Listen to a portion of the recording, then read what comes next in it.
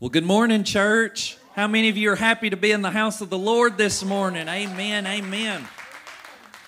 Y'all bear with me. I've got a little bit of a, a, tickle in my throat, but we are more than conquerors through Christ Jesus. So if I have to hawk and spit all through this message, I, I will get through it in Jesus' name. I just feel bad for the front row, okay?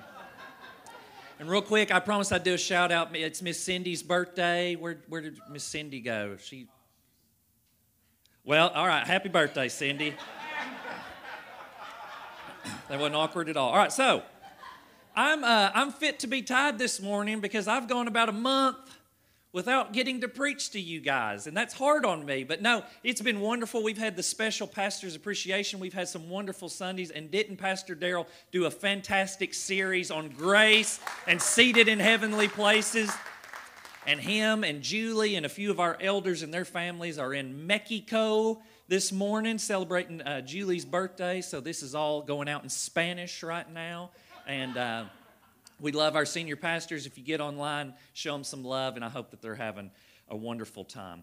So, jumping right in, preaching is a really interesting dynamic. Some of you in this room, you, you've stood up and you've preached in church, or, or how many of you you've ever had to get up and give a speech at a wedding or a funeral, okay? Nobody. Okay, so great. It's an interesting dynamic because there's so much that is going on. Now, I've been blessed in my life. A lot of people are terrified of public speaking. I have never felt that fear in my life. In fact, I get more nervous having to wait until I get up here because I can't wait to get up here because I know the one that has the answer to all of your problems, and his name is Jesus Christ. So before any time I preach, I feel like somebody who's playing poker and they've got the hand that no one can beat. But you have to wait. You have to be patient and you have to put on the poker face. Now, one of the things that you guys should know about me is my face hides nothing. so, if you ever need me to sneak you into a country or get you through airport security, this face is going to fail the test every time. You know, sir, is this really your passport? It's the eyes. I'm not good at lying. But I know that a lot of people, like public speaking, it, it, can be scary. But the interesting dynamic about anytime you do public speaking or preaching is, you know, I'm trying to get people to not check out. I'm trying to get out what's in my mind. If you guys think that I'm a decent preacher, you ought to hear the voice in my head. He's fantastic. I can't even preach 10% of what this guy wants to preach because I'm just all over the place. I try to make sense of my points. I try to not put you to sleep. I try to get you to laugh or smile, and I'm trying to have an impact on the one person that needs a touch from God in here. Do you know that we serve a God that loves you enough that He will send, He will make an entire message sent by a weird man to touch you so that you do not leave here the same way that you came in. That's how much He loves you. But I'm also trying to get you to be honest with yourself. You know, Christians are some of the hardest people to get them to be honest with themselves. We wear many masks when we come into the church. You know, instead of, see, where the church has missed it, we come in here like this is a museum for perfect people. It's supposed to be a hospital for hurting people. But see, we put on these masks and, you know, how's your family fine? How's, how's this fine? How's this? But only you know what's really going on in here. You know, the funny thing about Christians is I'm constantly trying to get you to look in the mirror and say, is this message for me this morning? Because I know, I know you guys are holy. You've never had these thoughts like I have. How many of you have ever heard a message and you said, Boy, I wish so and so was here to hear this message? Boy, that message would be for so and so if they were just here. No, you know what? One time, Daryl was preaching a really awesome message and he, he was really getting deep with it. And I remember just thinking, boy, so and so needs to hear this. And immediately I felt the Holy Spirit say, no, you need to hear this. See, if we can be honest with ourselves, we might just get that touch from God that we've been begging Him for during the week. See, we hear messages and we say, Yeah, I get them. Or, or, you know, my favorite is when people come to you and say, Man, that's the best message I've ever heard, and then they don't put it into practice in their life. Oh, that's for someone else. This morning, if you'll give me 20 minutes, I know 20 minutes is a lot in today's culture, all right? Give me, give me two minutes. If you'll give me 20 minutes and you will be willing to be honest with yourself, I think Jesus wants to really move and set some people free from things that they feel like they can never be free from this morning. Now, with that said, how many of you in this room, raise your hand, are outdoorsy kind of people? You like hiking, you like camping, you like rock climbing, you like spelunking, and you like caving. We live in a very blessed area. We have a pretty cool cave, a landmark. It's called the Lost Sea. It's up around Sweetwater, Tennessee. If you've never been, it's really cool. You go way beneath the Earth's surface. The, uh, the temperature is always the same year round down there. Doesn't matter if it's snowing or 100 degrees. It's got like a pond, the Lost Sea. And so it's, it's really interesting. I'm not a big caving guy. Dark, damp, bat infested places, I don't think are for humans. I'm just going to throw that out there. And every time I've ever gone caving with my friends, they're like, oh, this is just wonderful in God's glory. And I'm looking around like I see a million ways to get stuck or die in this cave. And then they want you to squeeze. They're like, oh, we're going to have a great time, boys and girls. You're going to squeeze into these crevices and you may get stuck just for a minute. You'll be all right. You'll be all right. And I'm like, why would I want to even attempt this? And one of them was called the birth canal. And you go down in this little thing and you weasel your way out and you come out like this. And I was sitting there thinking, I went through the birth canal once. I'm good. I'm not, I'm good. I did that experience. It was fine. I'm here. I breathed. I lived.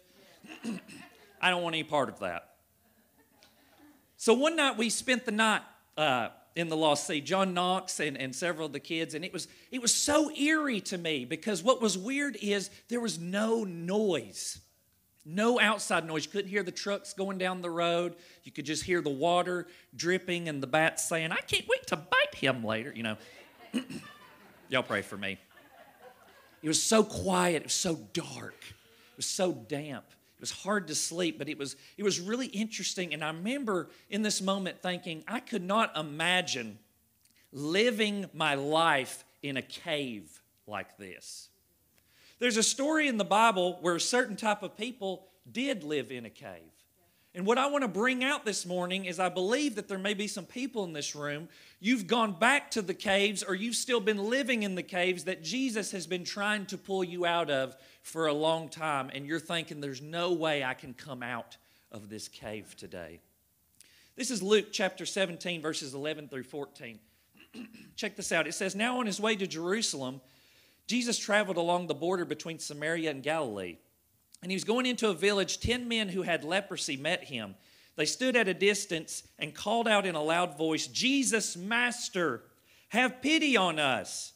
When he saw them, he said, Go show yourselves to the priest. And they went and they were cleansed. Now let's stop right there. Time out. Stay with me. We serve the God who is powerful enough. And I want to encourage you this morning no matter what you're going through, no matter what feels hopeless, sickness, depression, PTSD, whatever you've been dealing with for days, weeks, years, decades. I came to tell you this morning that we serve the God who is powerful enough that He says a few words to people who've been lepers their entire life, and instantly in this moment, go show yourselves to the, the priest, they're cleansed. That is the God that we serve this morning. Whatever you are needing this morning, See, we want the thunderbolts and the lightning, and maybe God would never do it for me. One word from His mouth can change your life in here today. We serve the God of just a few words and you're cleansed. You know what, though? The hardest part of the human condition, though, is getting humans to step out and get out of the caves that they've lived in their whole lives. Humans you know, we, we want relief, but we don't want to change. We want God to move in our situation, but only according to the way that we feel like He should move in our situation. This book from the beginning to the end is constantly a loving God who is stretching as far as He can, saying, Let me take control of your life. Let me love on you. Let me heal you, deliver you. And He is reaching you ever seen the painting of, of, of Adam and God, the fingers touching?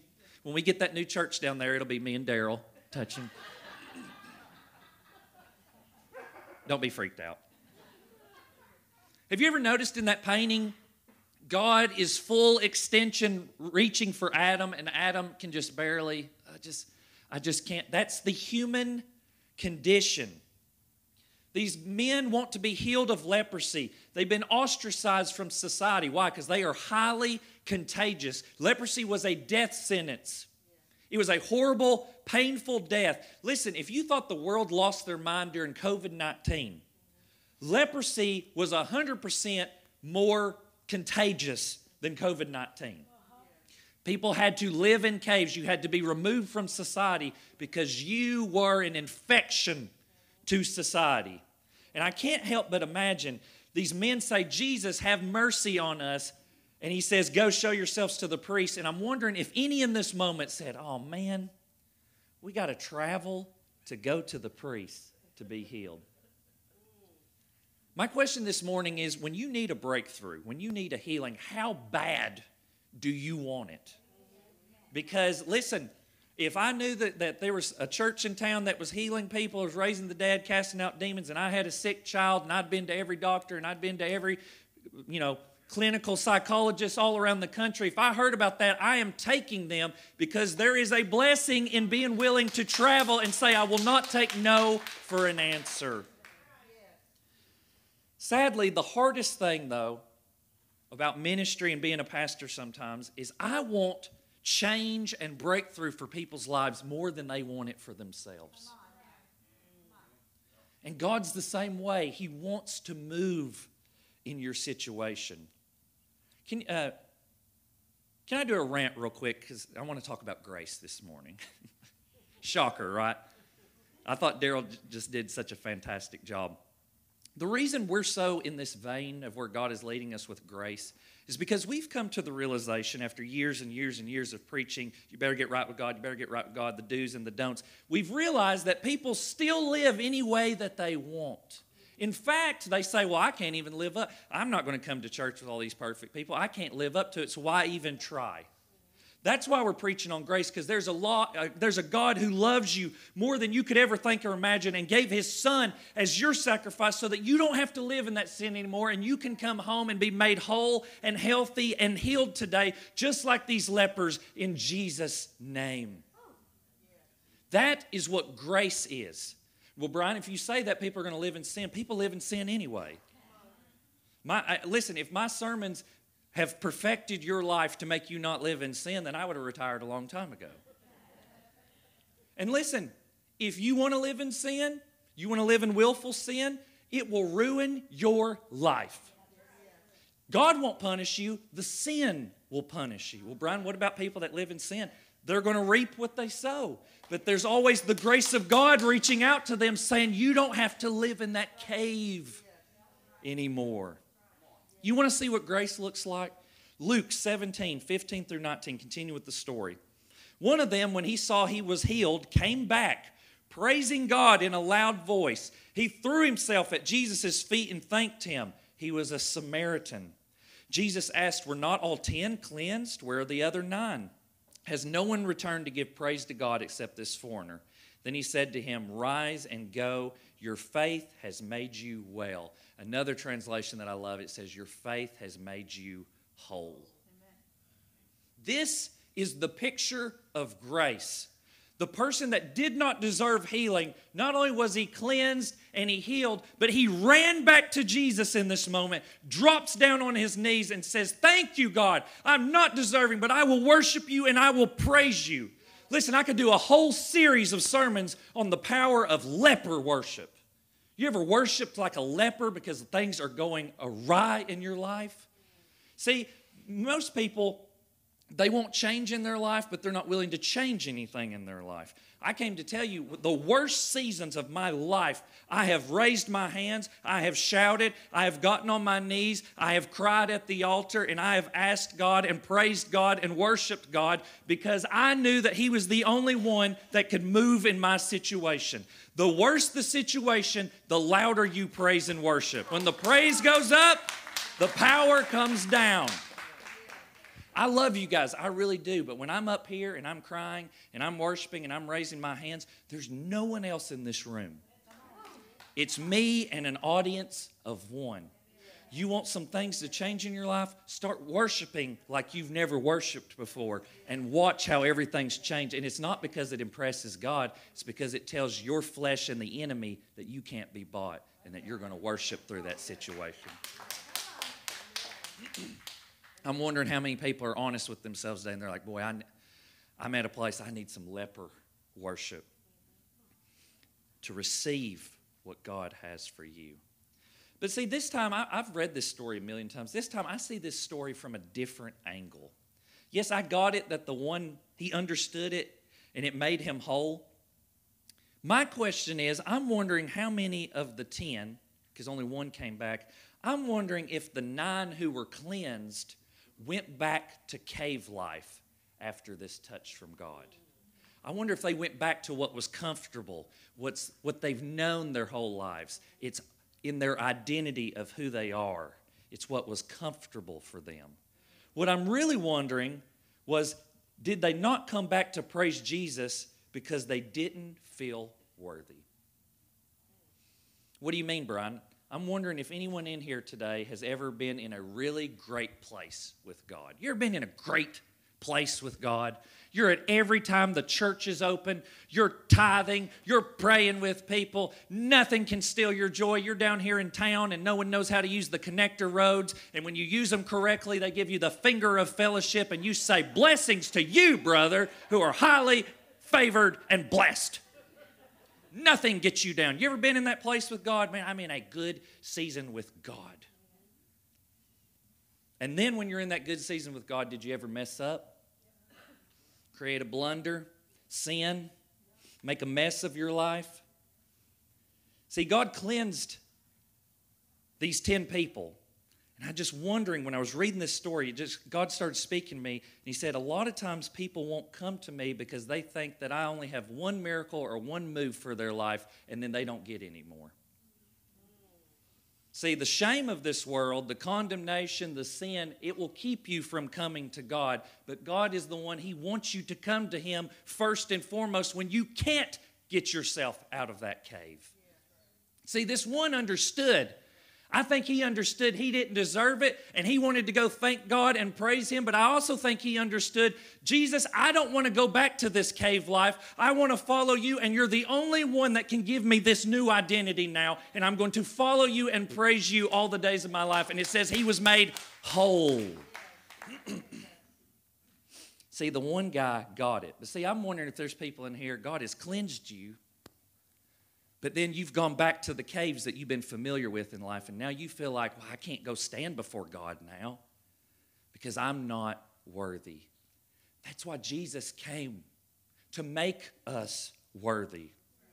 Some of you have gone back to your caves due to shame, condemnation, hurt, pain, can't get your act together. And what God has sent me here this morning, I don't know who this is for, or maybe it's just for me. He sent me to pull you out of that cave and show you that Jesus has been at the entrance of that cave all your life, holding out his hand and saying, You don't have to live here anymore. This is not your identity.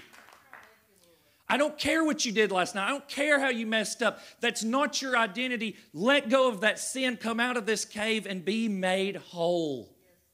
But see, I talk to people all the time, especially Christians. Brian, I, I can't. This is who I am. This is who I am. Well, I keep going back to it. I'll never, I'll never be able to kick this. I'll never be able to overcome this. That is a lie. Come out of that cave. My favorite story in the Bible is Jesus speaks to the cave that Lazarus is buried in. And he says, Lazarus, come forth. And then it, the rock rolls away, and here comes Lazarus, kind of in this mummy costume, you know. The, Y'all pray for me. I love that because Jesus was waiting right there as soon as he came out. I want to read you this story. This is Psalm 40, 1 through 3. This is someone who's made a mess of their life. Can anyone in here relate? Maybe it's just me. It says, I waited patiently for the Lord. He turned to me and heard my cry. He lifted me out of the slimy pit and out of the mud and the mire. And he set my feet on the rock and gave me a firm place to stand. He put a new song in my mouth and a hymn of praise to our God. Can I tell you something? Do you understand when you read this verse what the miry mud and muck and, and just the, the pit that he was in? Do you know what that was? He had made a mess of his life. And guess what? When God touches you and cleanses you and you make another mess of your life, you don't have to go back to that cave because Jesus paid the price for you to not live in that cave anymore. Don't settle for the lies of the enemy of this is who you are. You're a cave dweller. That's what he will tell you. This cave is your master. This depression, this not feeling loved, this anxiety, this is the cave of life that you live in. And I came to tell you today, Jesus is waiting at the entrance and saying, You don't have to live down here anymore. This is not your address anymore. Come live with me. Come out of that cave of addiction, shame, lies, living in sin, not being enough. Hey, here's a big one I see in the church people are just numb these days. How, how's your life going? Fine. How's your family? Fine. How's your job? Fine. Well, do you enjoy this about your life? It's fine. The devil will get you numb in this life to where you don't enjoy your life, you don't enjoy anything in this life. That's a cave. God came to give you life and life more abundant. Come out of the cave of depression, sickness, no purpose. You're barren. Whatever title's been put on you, Jesus is here this morning. Today is different. I know you've been living in that cave for 10, 20, 30 years. Can I tell you something? Today is the day of salvation. Today is different. Today is different. You've been living in that cave of you got this title or this title or this title, and what God is saying, you don't have to live there anymore. See, the one that came back, he understood how much he had been forgiven, but he said, I don't want to go back to this lifestyle. I don't want to live in that cave anymore. That's why he worshiped Jesus the way he did. He knew he wasn't worthy, he just received it. Some of you are trying to rub the lamp of God and get Him to move in your situation by being good or trying to do this or reading your Bible. And those are all good things, those are all fruits of the Spirit. He already wants to move in your situation. He loves you. He's waiting on you to come out of that cave. Don't settle for the lies of the enemy.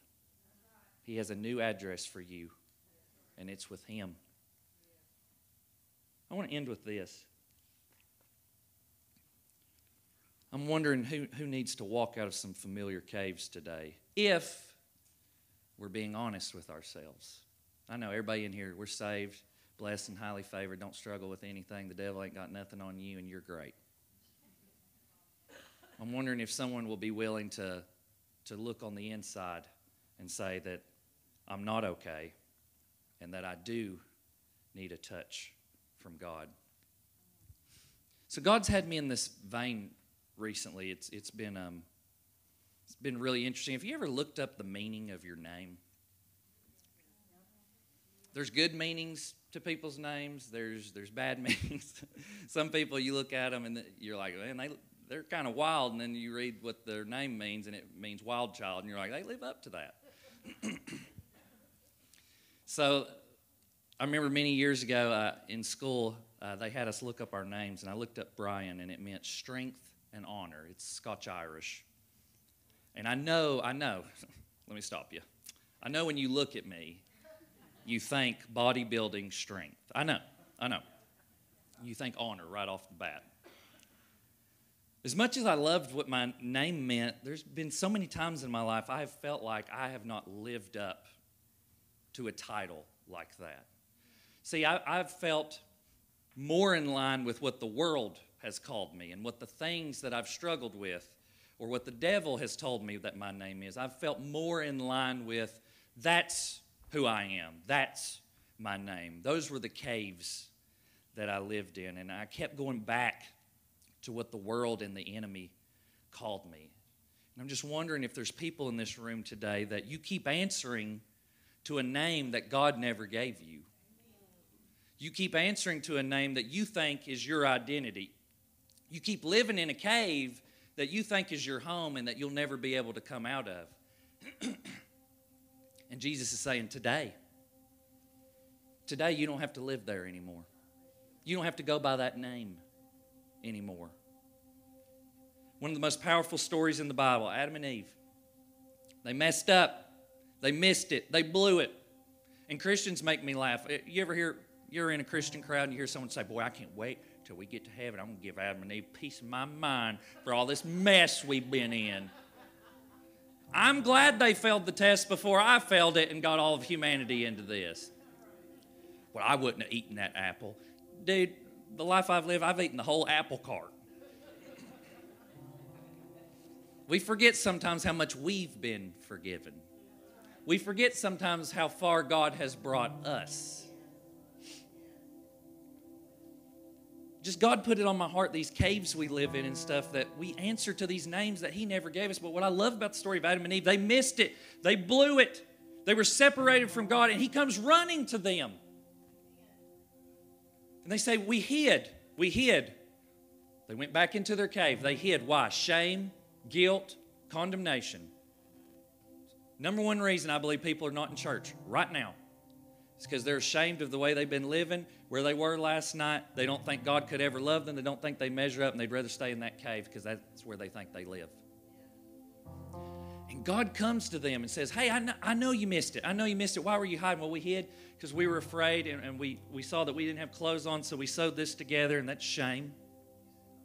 And in this moment, God says, Who told you that was your name? God, who had every right to be angry, be like, What have you done? Comes to them and says, Okay, okay, you messed up. Who told you you have to live in this cave? Who told you that was your name? Your name is not divorce. Your name is not depression. Your name is not single mom.